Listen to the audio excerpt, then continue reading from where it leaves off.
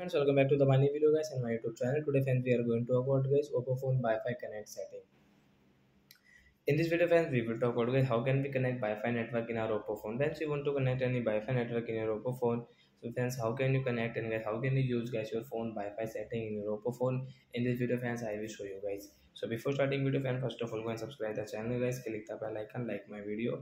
So then first of all we will on our phone setting to connect wi-fi network after on phone setting guys. You can see your phone wi-fi setting guys. Click here. You will have to on your wi-fi. As you want to on your you can off and you can on and off your wi-fi setting from here.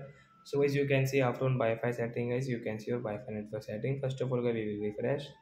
After refresh guys you can see your wi-fi network. So which network guys you want to connect to your phone you can connect from here guys. So we will click on this wi-fi guys. I have got this mukesh wi-fi. So i will click on get my wi-fi network and guys i will enter my wi-fi password so I enter your wi-fi password and guys you want to check your password so you can check and right side this icon guys you will have to click then guys you can connect your wi-fi. So after 3 and 4 seconds guys wi-fi network will connect and you can use your wi-fi guys. Guys you don't have your mobile data guys you can connect your wi-fi network and you can operate your phone. So that's it guys. Thanks for watching the video guys. We will meet on next video. Bye friend. Before going please go and like the video